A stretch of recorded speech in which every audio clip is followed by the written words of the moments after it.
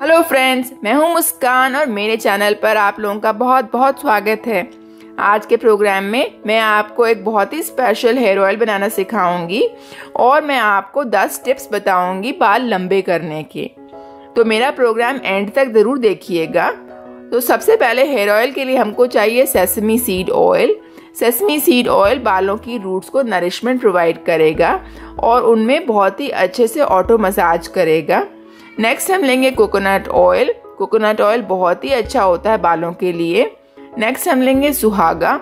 सुहागा फिटकरी जैसा होता है देखने में और ये बालों से डैंड्रफ को बिल्कुल गायब कर देता है. नेक्स्ट हम लेंगे कलौजी. कलौजी छोटे छोटे से ब्लैक सीड्स होते हैं. ये बालों के लिए बहुत ही ज़्यादा फ़ायदेमंद हैं. ये सर में जाके थोड़ी सी गर्माहट पैदा करते हैं और आपका ब्लड फ्लो इम्प्रूव करते हैं. तो सबसे पहले हम लोग एक ग्लास बोल लेंगे. और उसमें हम डालेंगे दो चम्मच कोकोनट ऑयल ये कोकोनट ऑयल बालों के लिए बहुत ही ज़्यादा हेल्दी होता है। सर्दी हो या गर्मी, आप हर मौसम में कोकोनट अपने बालों में लगा सकते हैं। ये रूट्स को बहुत ही ज़्यादा अच्छे से जान डाल देता है उनमें। नेक्स्ट हम लेंगे सेसमी सीड ऑयल इसमें हम तीन चम्मच सेसमी सीड ऑयल मिलाएँगे।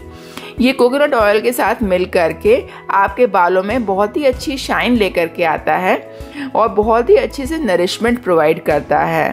ये बालों की रूट्स में जा कर के उनको ऑटो मसाज करता है, जिससे कि आपकी हेयर ग्रोथ फास्ट हो जाती है। नेक्स्ट हम लेंगे कलौजी ये ब्लैक सीड्स होते हैं। जब आप इसे ऑयल में डाल देते हैं तो उसके बाद इनका जो अंदर से स्पेशल ऑयल निकल के आता है, ये बालों की रूट्स के लिए बहुत ही ज़्यादा हेल्दी होता है। नेक्स्ट हम लेंगे सुहागा या बोरैक्स पाउडर ये हमारे बालों के लिए बहुत ही ज़्यादा फ़ायदेमंद है, क्योंकि ये बालों में जा कर के सारी इचीनेस ख़त्म कर देता है। अगर आपको स्कैल्प की कोई बीमारी है तो वो उसको पूरी जड़ से ख़त्म कर देता है और डैंड्रफ का नामो निशान हटा देता है। इस मिक्सचर को आप धूप में एक दिन के लिए रख दीजिए और उसके बाद ये hair oil ready to use है। आप इसको छान करके स्टोर कर सकते हैं। ये मैंने वन टाइम का बनाया है। आप इसी को इंक्रीज करके एक महीने का बना सकते हैं। अब मैं आपको 10 टिप्स बताऊँगी, जिससे कि आप अपने बाल हेल्दी और लंबे कर सकते हैं। सबसे पहले आप शैम्पू अच्छी क्वालिटी का यूज़ करें। हर्बल शैम्पू बालों के लिए बेस्ट माना जाता है। आप घर में शैम्पू बनाएँ और उसको आराम से स्टोर कर दें और जब ज़रूरत हो तब उसे यूज़ करें। बालों को बेबी शैम्पू से भी आप धो सकते हैं क्योंकि वो भी शैम्पू माइल्ड होता है और बालों को नुकसान नहीं पहुंचाता है। नेक्स्ट, आप अपने बालों को बहुत जल्दी जल्दी वॉश ना करें। ज़्यादा जल्दी वॉश करने से बाल ज़्यादा टूटते हैं। ज़्यादा देर तक अगर आप शावर लेते हैं तो उससे भी बाल ज़्यादा टूटते हैं। अब आप बालों को जब रब करें तो बहुत ज़ोर से रब ना करें, क्योंकि उससे भी बाल झड़ने शुरू हो जाते हैं। आप अपने बालों को रेगुलरली मॉइस्चराइज करें। चाहे आप उस पर हेयर पैक लगाएँ या आप उस पर हेयर ऑयल लगाएँ, आप अपने बालों का बहुत ही ज़्यादा ख्याल रखें। और जब आप बालों में तेल लगा लें तो उनको अच्छे से बाँध लें, क्योंकि जब बाल खुले होते हैं तो उनमें ड्राइनेस होने की ज़्यादा चांसेस होते हैं। जब आप पानी से नहा रहे हैं तो आप पानी का टेम्परेचर ज़्यादा गर्म या ज़्यादा ठंडा ना करें, क्योंकि उससे भी बालों को बहुत ही ज़्यादा नुकसान पहुँचता है।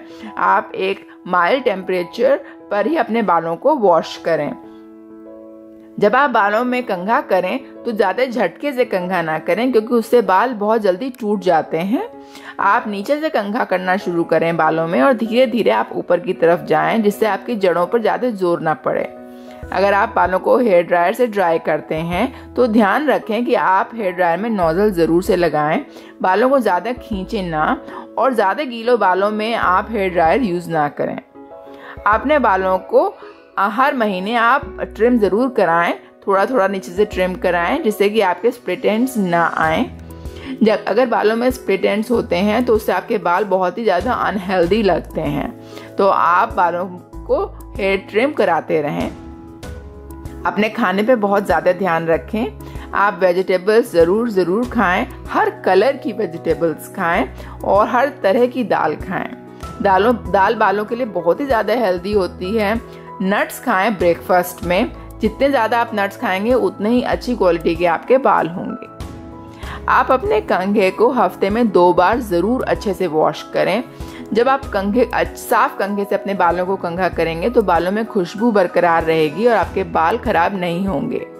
जब आप रात में सोएँ तो आप बालों को खोल करके ना सोएँ, उनको बाँध करके सोएँ और अपने तकिए को आप सिल्क का पिलो उस पर डालें तो उससे आपके बाल नहीं टूटेंगे। आप इन सारी टिप्स को यूज़ करें और मेरे चैनल पे ज़रूर ज़रूर कमेंट करें और प्लीज़ मेरे चैनल पे सब्सक्राइब करें।